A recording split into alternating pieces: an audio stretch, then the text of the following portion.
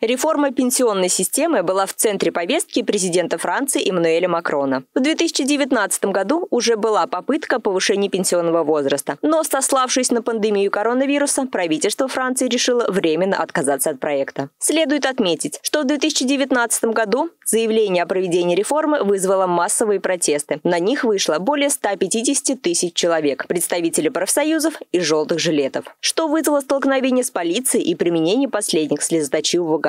С точки зрения правительства Макрона, эта мера является необходимой ввиду катастрофического старения э, французской нации. Но уже на данный период времени количество э, работающих граждан э, значительно меньше чем количество пенсионеров во Франции.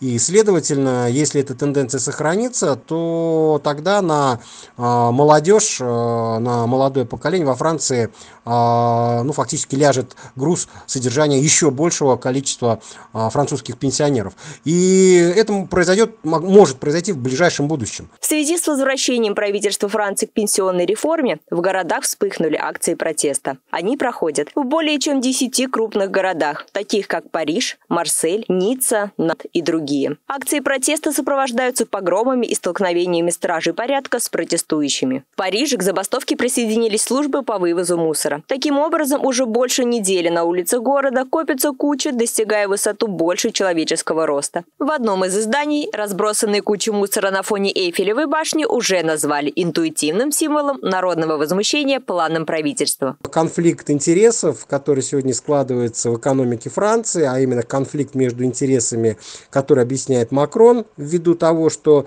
пенсионеров все больше и больше, и вопрос, собственно говоря, э, как обеспечивать их, да, и э, позиции гражданской, что граждане хотят э, иметь тот пенсионный возраст, на который они рассчитывали. Вот этот конфликт интересов сегодня активно развивается.